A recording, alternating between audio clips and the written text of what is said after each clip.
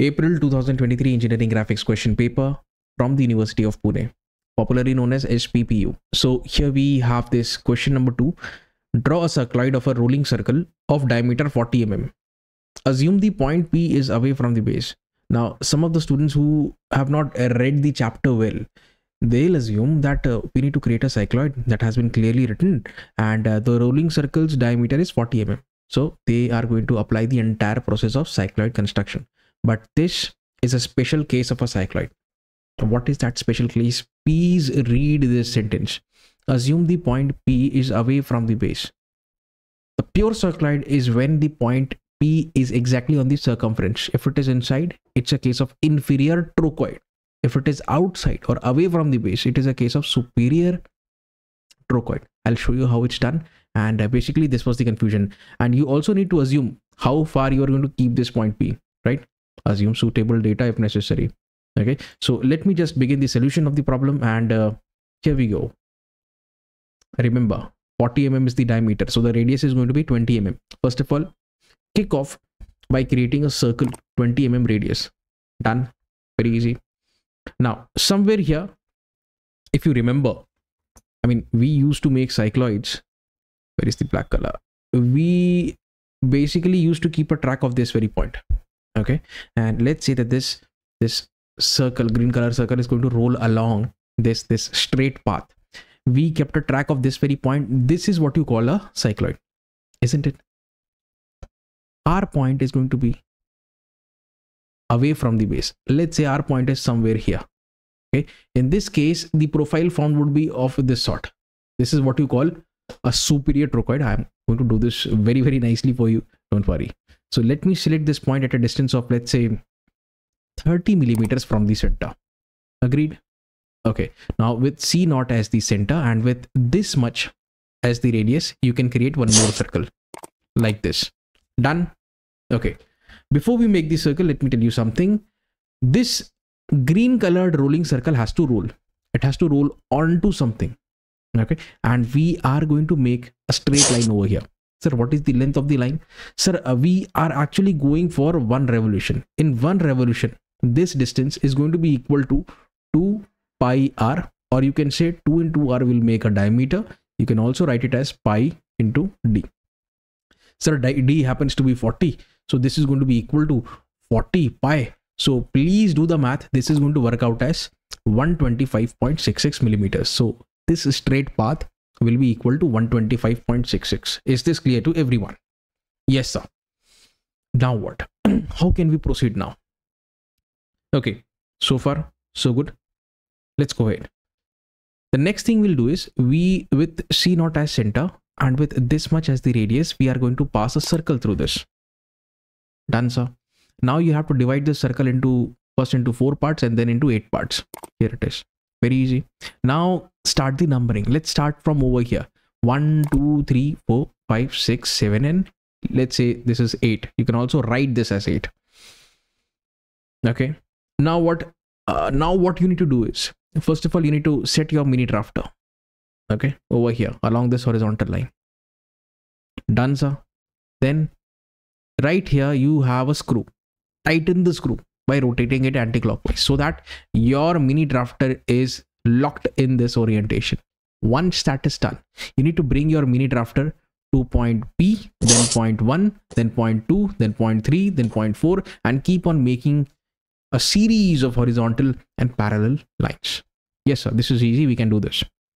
Now what you need to do is using the line division technique Using the line division technique, you need to divide this line AB into eight equal parts. Okay, so this is very easy. This is what you need to do. And then you need to send these points. You need to send these points or transfer these points over to this side, right? So that this is C0, this becomes C1, this becomes C2, C3, and so on until you reach C8.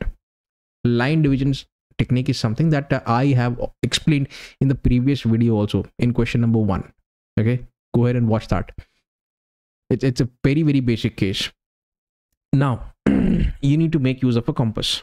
What do we need to do sir? Uh, basically you need to take this much as the radius.